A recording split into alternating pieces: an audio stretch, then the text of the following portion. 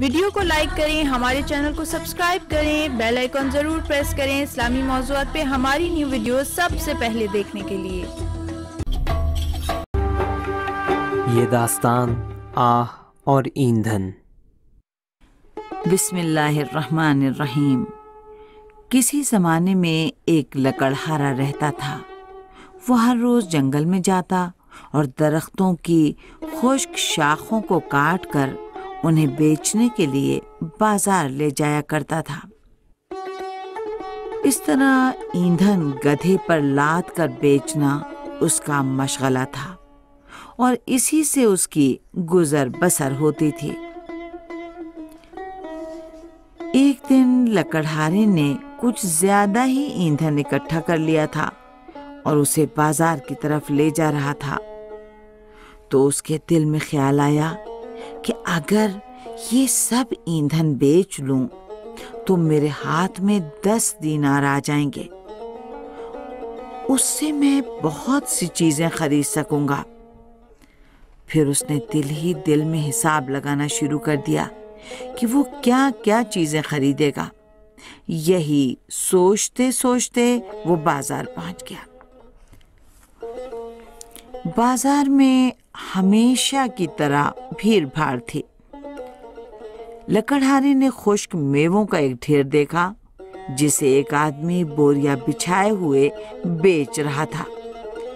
उसने सोचा कि दस दीनार जब मेरे हाथ में आ जाएँगे तो मैं अपने बच्चों के लिए ये मेवे भी खरीद कर ले जाऊँगा।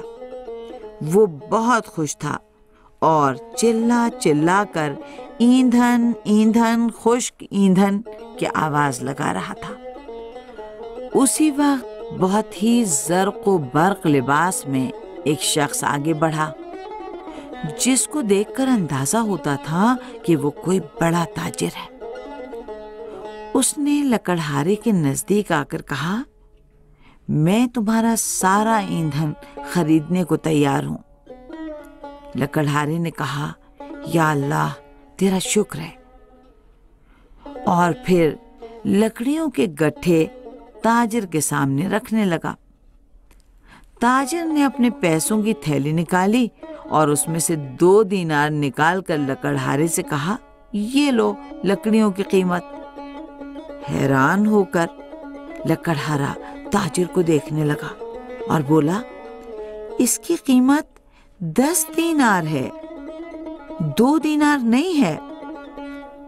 ताजिर ने तंजिया हँसी हंसकर कहा लगता है मुझे पहचानते नहीं हो। मैं हाकिम शहर का भाई हूँ। अगर इन्हीं पैसों पर राज़ी नहीं होते तो सोच लो। तुम्हें कैद में डलवा दूँगा। बेचारा लकड़हारा क्या करता? इतनी मेहनत से काटी हुई लकड़ियों को बेचना पड़ रहा था। उसने जेरे लब कहा, ये ताजिर तो सांप है, हर एक को डस लेता है। ये उल्लू की तरह है कि जहाँ भी बैठता है, वहाँ तबाही ले आता है। ताजिर ने उसके होंठ हिलते देखे तो कहने लगा जेरे लब क्या कह रहे हो? लकड़हारे ने कहा, कुछ नहीं, कुछ भी नहीं, बस सादी का एक शेर पढ़ रहा था।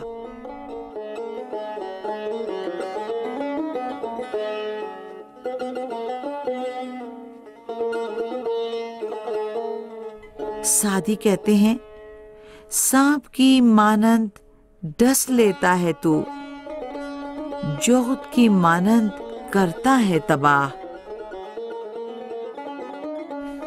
ताजिर, जो बिल्कुल जाहिल था, लकड़हारे की बात को समझ नहीं पाया और लापरवाही के साथ वहाँ से चला गया।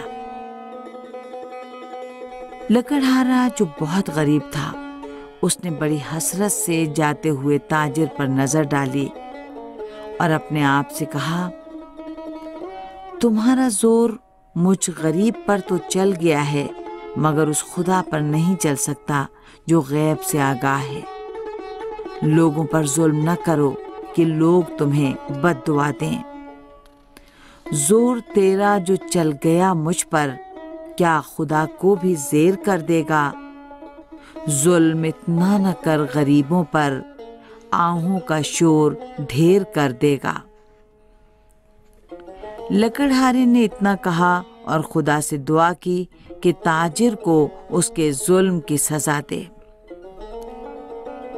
अब सुनिए ताजिर का किस्सा।